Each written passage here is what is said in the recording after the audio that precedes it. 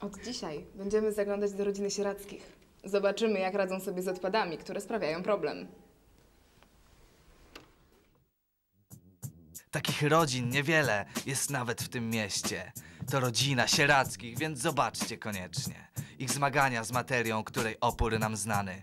Do rodziny sierackich jeszcze dziś zapraszamy. Do rodziny sierackich jeszcze dziś zapraszamy. Do rodziny sierackich jeszcze dziś zapraszamy. Do rodziny sierackich jeszcze dziś zapraszamy.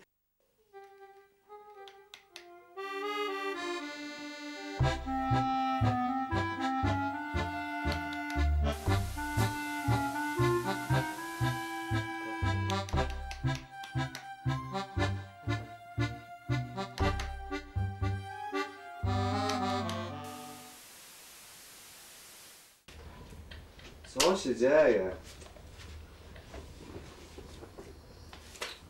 Daj mi to, synu. Hm, chyba zużyły się baterie. Idź, tam w komodzie powinny być nowe. Spróbuj wymienić. Dobrze.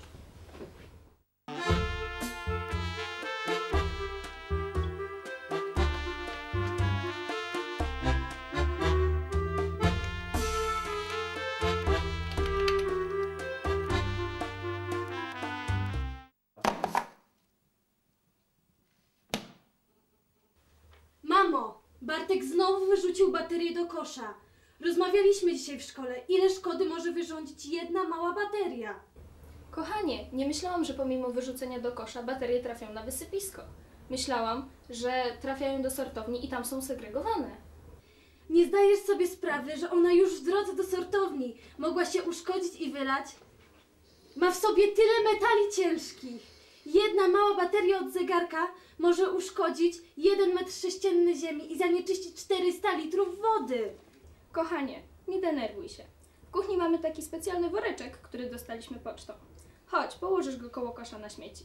Wtedy Bartek na pewno będzie pamiętał, żeby nie wyrzucać baterii do kosza. I co zrobimy z tymi bateriami? Słyszałam, że można je dostarczać do jakichś punktów w Sieradzu. Postaram się sobie przypomnieć gdzie.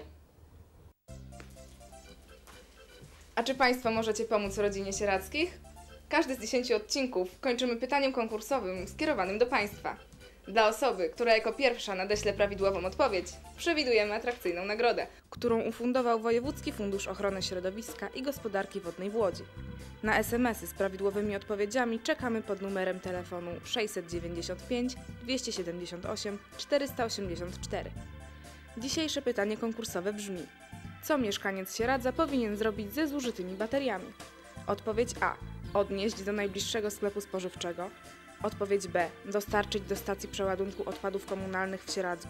Czy odpowiedź C. Wrzucić do pojemnika na złom. Na SMS-y z odpowiedziami A, B lub C czekamy pod numerem 695 278 484.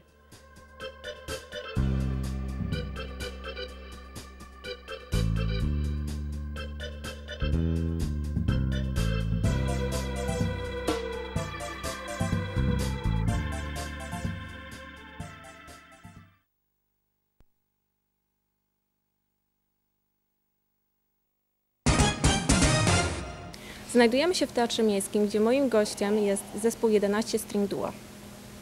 Proszę nam powiedzieć, skąd taka nazwa? Powiem krótko. Już e, mnóstwo osób o tym wie, ale jeżeli jeszcze tutaj, prawdaż, nie wiedzą ludzie, więc Tomek gra na basie i ma strun 5. Ja gram na gitarze i mam strun 6. No i 5 plus 6 to jest 11 i tak wymyśliliśmy, sobie, że bo string duo jest mnóstwo zespołów, które się tak nazywają, a nasz jest jeden taki właśnie. A proszę mi powiedzieć, skąd panowie czerpią inspirację muzyczną? Pytanie jest dosyć trudne. No, z muzyki, która nas otacza przede wszystkim tak naprawdę. Ponieważ y, wiadomo, że y, człowiek z muzyką jest związany już od zarania wieków i cały czas te dźwięki nas otaczają i każde kolejne pokolenia y, je w jakiś tam sposób rozwijają. W ten sposób się czerpie inspirację. Myślę, że to dotyczy wszystkich y, ludzi związanych ze sztuką, czy to jest muzyka, czy, czy plastyka, czy jakieś inne rodzaje sztuki, to, to jest chyba tak samo. No ale generalnie y, u nas jest tak, że przede wszystkim bossanowa i standardy muzyki jazzowej inspirują nas najbardziej. Chociaż nie tylko, ponieważ gramy standardy muzyki pop, standardy muzyki rockowej. Uważam, że y, można coś zmienić w tym, co kiedyś ktoś już wymyślił i dać temu nowy wyraz. I o to właśnie chodzi. A co nam dzisiaj panowie zaprezentujecie? Zaprezentujemy właśnie dużo standardów z, z muzyki bossanowej, to o czym e, pan Zbyszek już mówił.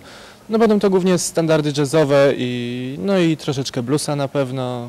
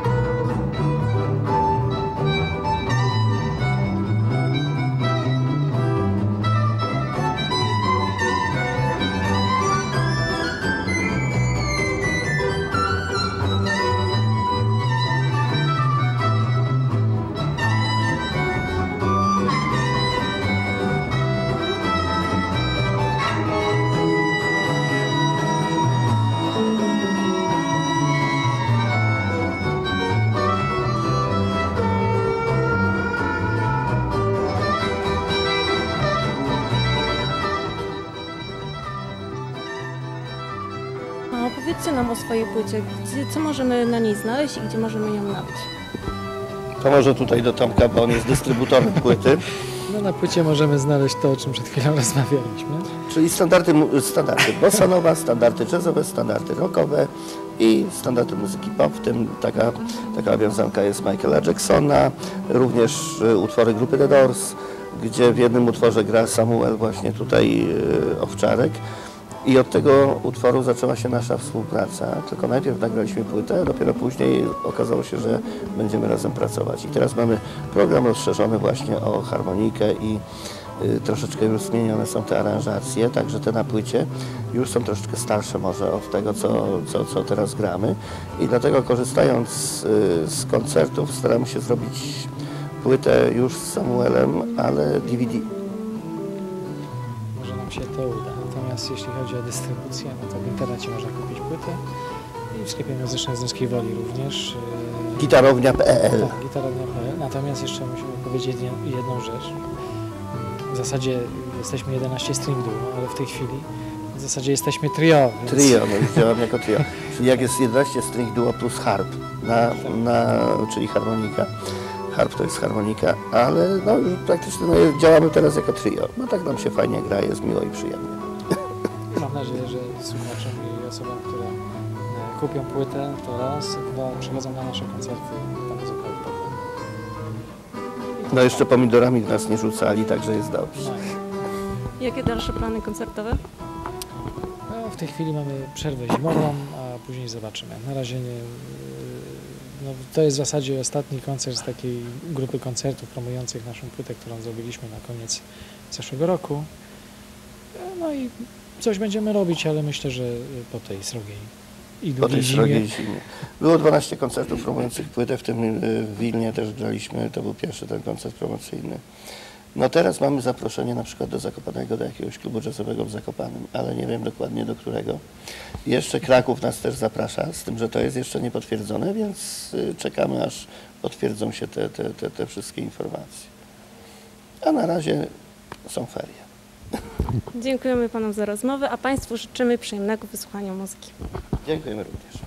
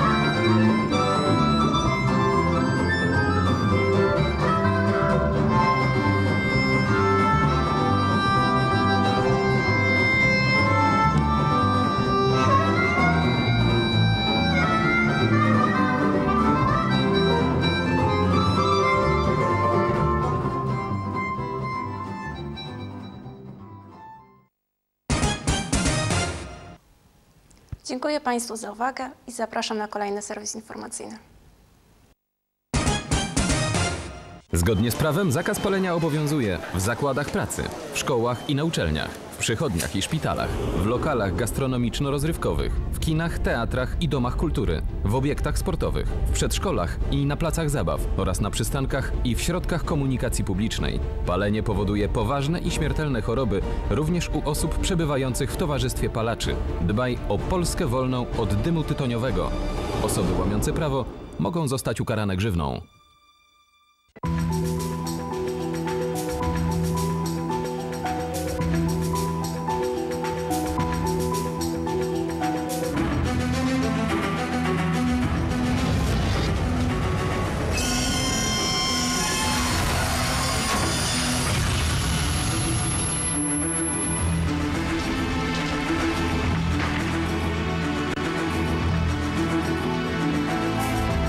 Zatrzymaj się.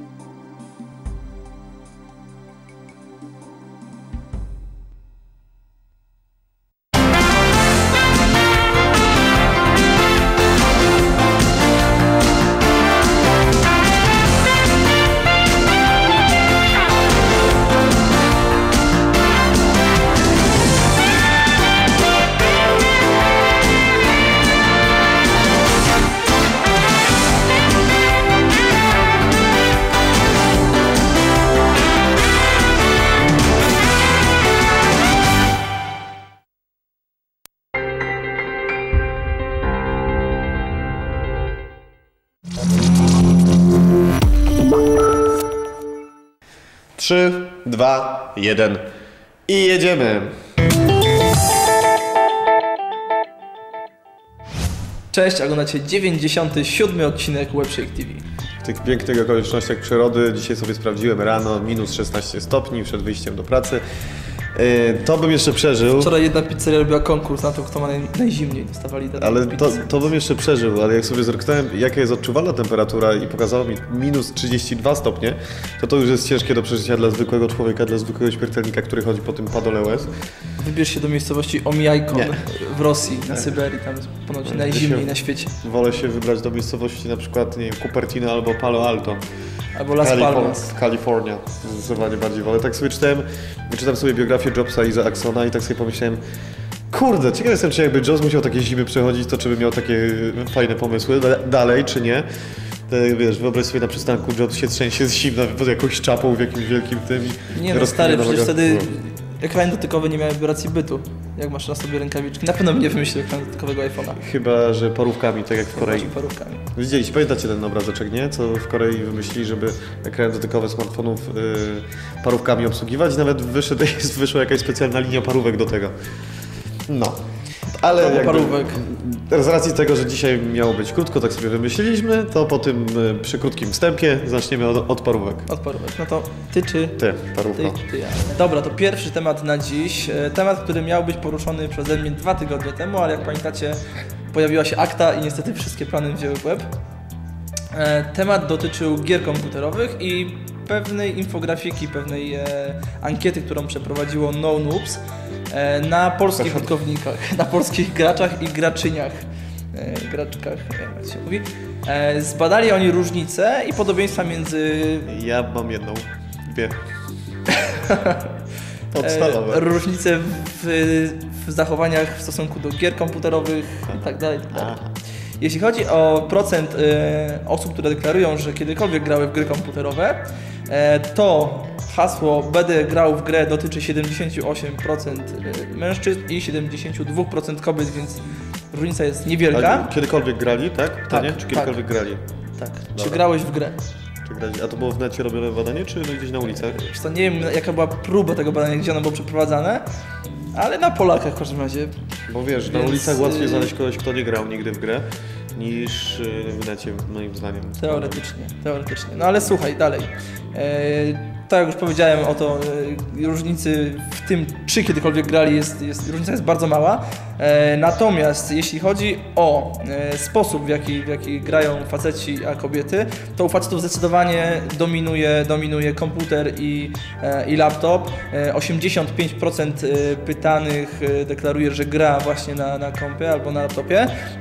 To jest tak samo w przypadku kobiet też jest 84-85, więc bardzo podobnie. Natomiast strasznie ciekawa sytuacja, kobiety dominują mobile. Jeśli chodzi o, o, o komórki, o urządzenia w ogóle mobilne, to właśnie, to właśnie e, dziewczyny i generalnie panie e, biją facetów na łeb, na szyję. Myślałem, że to będzie większa, większa przewaga w przypadku na przykład gier przeglądarkowych. Okazuje się, że nie, że bardzo podobnie.